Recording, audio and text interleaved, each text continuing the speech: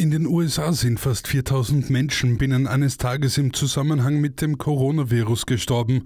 Mit 3955 Toten ist die Zahl am Donnerstag aber unter dem Höchstwert von 4462, der am 12. Januar verzeichnet worden ist, gelegen, wie aus Daten der Johns Hopkins University in Baltimore vom Freitagmorgen hervorgeht.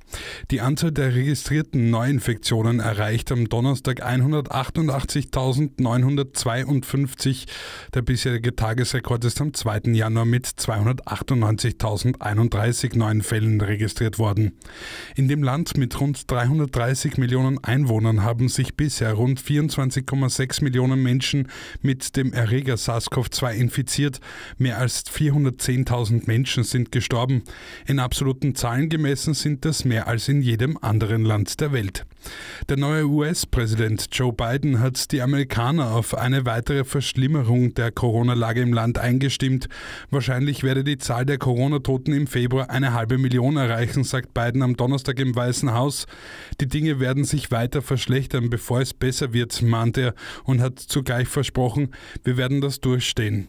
Die Eindämmung der Pandemie ist eines der Hauptanliegen Bidens, der am Mittwoch vereidigt worden ist. Bereits in den ersten Stunden im Amt hat er eine Maskenpflicht unter anderem in Regierungsgebäuden angeordnet.